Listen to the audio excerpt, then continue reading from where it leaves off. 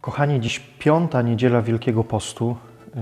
To taka niedziela, która y, rozpoczyna, można powiedzieć, taką drugą część y, tego okresu liturgicznego. Y, normalnie w kościołach od tej niedzieli widzimy zasłonięte krzyże, które zostaną odsłonięte w Wielki Piątek, wtedy kiedy będzie adoracja krzyża. Wiemy, że w tym roku wszystko jest trochę postawione na głowie i y, ta adoracja krzyża prawdopodobnie dla większości z nas odbędzie się w naszych y, domowych y, miejscach, tam gdzie jesteśmy, tam gdzie jesteście. Ale myślę, że ta niedziela, ona nas właśnie, szczególnie w tym roku, prowadzi do takiego odkrycia właśnie czym jest tak naprawdę tajemnica krzyża w moim życiu. Warto się nad tym zastanowić, warto o tym pomyśleć. Y, jakby jak ta tajemnica krzyża gdzieś y, rozbłyska właśnie w, w mojej codzienności. Y, zobaczcie, że Ewangelia, którą dostajemy na, ten, na tę niedzielę, to jest Ewangelia, która mówi nam o wskrzeszeniu Łazarza. To jest jedenasty rozdział Ewangelii świętego Jana. I ta, I ta Ewangelia, ona rzeczywiście bezpośrednio koresponduje myślę, z tą tajemnicą krzyża. Bo Łazarz rzeczywiście, y, który był przyjacielem Jezusa, tak jak pisze ewangelista, y, choruje i umiera. I można powiedzieć, że szczególnie w życiu y, jego sióstr, Marii i Marty, ta tajemnica krzyża nagle zaczyna być obecna, bo doświadczają śmierci kogoś najbliższego, swojego brata, doświadczają Y, absolutnie dramatycznej sytuacji.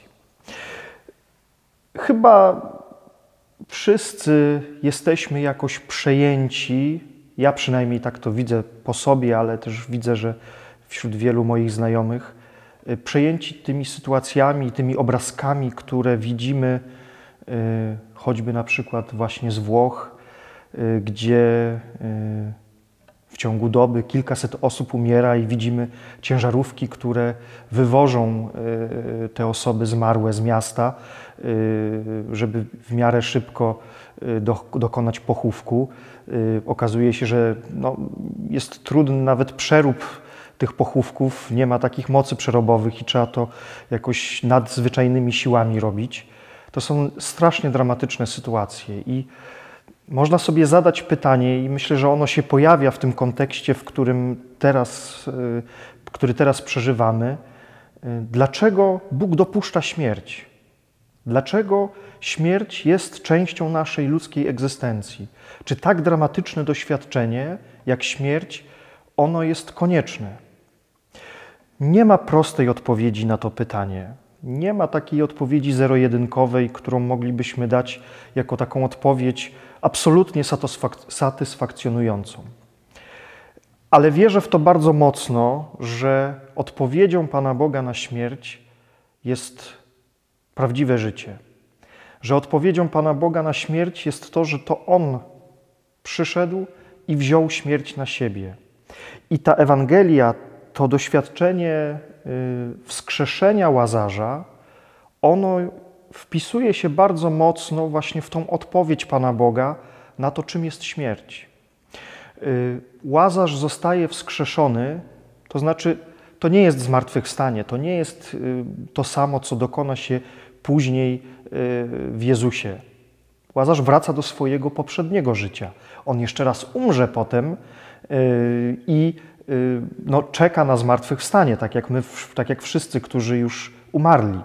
Ale w tym, w, tej, w tym cudzie wskrzeszenia Łazarza Jezus w jakiś cudowny sposób zapowiada to, co się w nim dokona poprzez zmartwychwstanie. I to jest odpowiedź Pana Boga na doświadczenie śmierci. Kiedy widzę Jezusa, który płacze nad śmiercią swojego przyjaciela Łazarza, to widzę Boga, który cierpi z powodu śmierci swoich dzieci. I prawdziwa śmierć, która może nas dotknąć, to jest ta śmierć duchowa.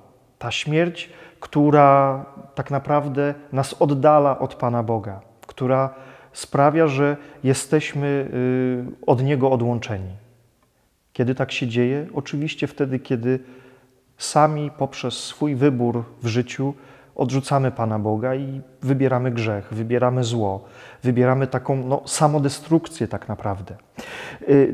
Tak naprawdę centralnym momentem w tej Ewangelii, punktem w tej Ewangelii wcale nie jest y, paradoksalnie wskrzeszenie Łazarza, ale jest ten moment, kiedy Jezus mówi do Marty: Ja jestem zmartwychwstanie i życie. Każdy, kto wierzy we mnie, nie umrze.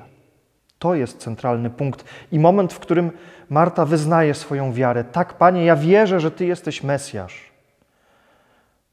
To jest tak naprawdę droga, do którą, którą my mamy przejść. Każdy z nas ma przejść. I wtedy rzeczywiście możemy doświadczyć prawdziwego życia. Nie ma prostych odpowiedzi na doświadczenie śmierci, ale z całą pewnością jest odpowiedź, mocna odpowiedź Pana Boga, który prowadzi nas do życia.